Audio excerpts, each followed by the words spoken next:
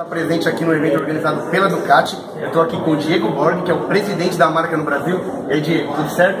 Tudo bem, Guilherme. Tudo bem? Prazer. Tudo bem, Queria pessoal. que você falasse pra gente, pro nosso público aí da revista, um pouco do que foi dito aqui hoje pra gente, sobre esse crescimento da Ducati no primeiro semestre e qual a expectativa para o segundo. Bom, vamos lá. Antes de falar do crescimento, o crescimento normalmente é uma consequência de muita coisa que a gente vem fazendo nos últimos três anos. Então, a gente registrou um crescimento recorde no Brasil.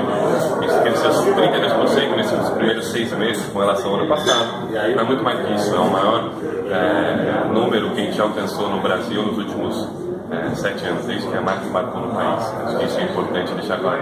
Está no melhor momento da marca no país, sendo que a gente não está no melhor momento da economia do Brasil, não está no melhor momento do Brasil, mas então a gente, a gente enxerga com muita oportunidade e muito positivo que vem pela frente. né? Então, além do crescimento, é, foi o que eu disse, gente fez outras coisas que alicerçaram esse crescimento. Então, um investimento muito pesado na Ducati no Brasil em melhorar ainda mais a experiência do cliente, com estoque local de peças, a gente conseguiu é, um nível de um nível de serviço de 92%. Cada, cada pedido que chega para a gente, a gente consegue atender imediatamente, na média, 92%, sendo que parte muito pequena da Itália hoje. né? Isso nos enche de orgulho e consegue fazer com que a gente alcance uma experiência diferenciada para o cliente, muito diferente do que a gente tinha no passado. Acho que essa parte é muito importante.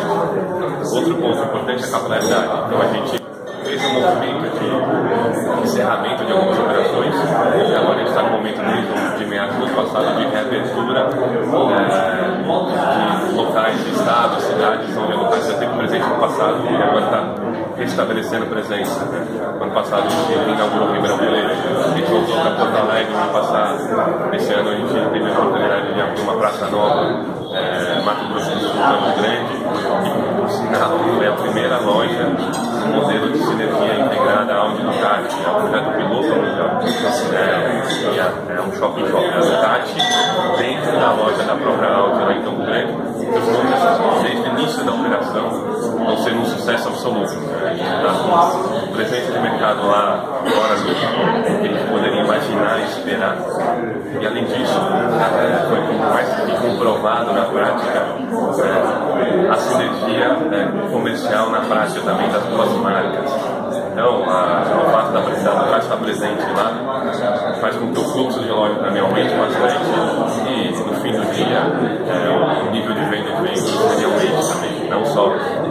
mas beneficia de fato as duas marcas. É um win-win completo. Legal. Então é isso aí, gente. Nas próximas edições de Moto Adventure eu vou fazer uma matéria um pouquinho mais completa com tudo que rolou aqui hoje. Eu sou o Guilherme Derrico, esse aqui é o Diego. Tamo aí. Moto Adventure, revista dos melhores motociclistas. Isso, aguardem novidades por aí, pessoal. Um abraço.